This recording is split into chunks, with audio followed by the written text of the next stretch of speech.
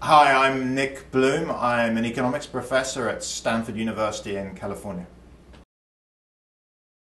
So, the benefits from working at home, there are three of them. And interestingly, one of them is very obvious and the other two are less obvious. So the obvious one is you save space for the company. So we were working with actually a very large company in China, in Shanghai, and office space is really expensive. So they allow people to work from home and they save an office space.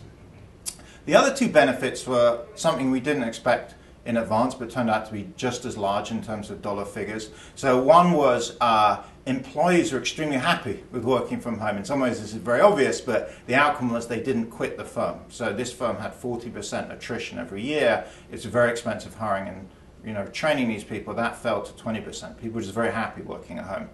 The other benefit that I think was even more surprising is they were much more productive. So the people at home were working about 15% harder based on output than the people in the office.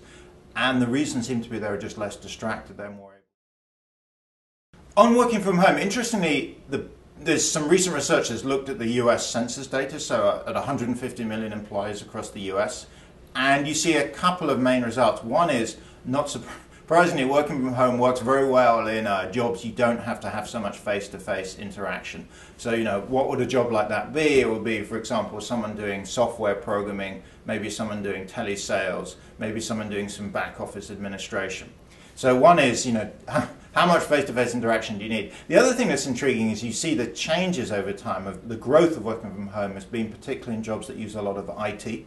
So IT has just made it so much easier to work from home. So I'm an academic in California. Uh, I do, you know, everything on a computer. Uh, I use broadband. I can work from home two or three days a week. That probably wouldn't have been possible 20 years ago. So it, it, it's an important question. What are the benefits of working from home for employees?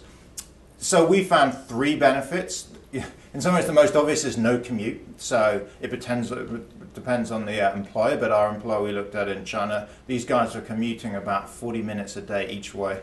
Uh, you can hear from my accent, I mean, I'm English. I uh, worked for many years in London. London is a horrible city to commute. We're sitting in Chicago. Chicago also, you know, commuting is a big deal. So any big city, commuting costs, both in time and money, that's a big saving. Um, the second benefit was that people get to be at home around others they want to spend time with. And when we saw in China, the people that chose to work from home are typically married, they're a bit older, they're with, with kids. And as a result, I presume uh, they want to spend time with their kids. I presume they want to spend time with their husband and wives. I don't know. That's not that's not good for everyone. Um, but you know, they it's typically people that want to be at home. Maybe they want to look after a young child. And then the third reason turned out to be around flexibility. So you can imagine if you're sick, but you're not really sick, you may be happy to work at home, but you don't feel up to going to work. Or the classic case of, uh, you know, there's a leak in, in your basement, you need to get the plumber in, you don't know when he's going to turn up. If you can work from home, you don't really waste much time waiting around for him. So, so we, looked, we looked at China. Are the results going to be different for the US?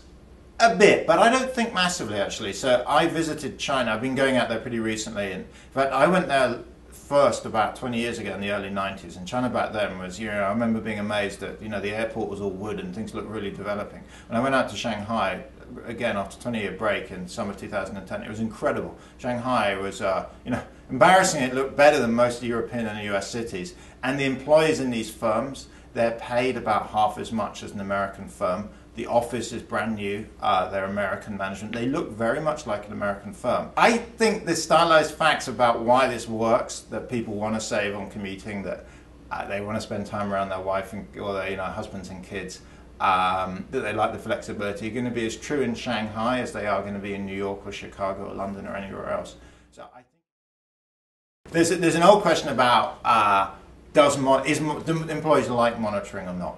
And you'd think initially that employees wouldn't like monitoring. You know, my prior is I don't like being evaluated. You know, who, who, who's my boss to tell me whether I'm good or not? But it turns out much of the research, and even my own anecdotal experience that I mentioned in a moment, much of the research suggests that actually good employees like monitoring. Why is that? Well, they're good. They want to be seen as good, and they want their bosses to know they're good, and they want to get paid well and promoted fast. Bad employees tend not to like monitoring, and there's a, actually a classic um, natural experiments, a guy called Eddie Lazear, who's a uh, famous economist in Stanford that used to be uh, head of the Council of Economic Advisors. And they looked at a firm called Safelite Glass that replaces smashed windscreens in cars. And they went from flat pay to piece rate pay and monitoring. And what you discover is productivity goes up a lot. And it goes up by about 8%, which is a big deal for the firm.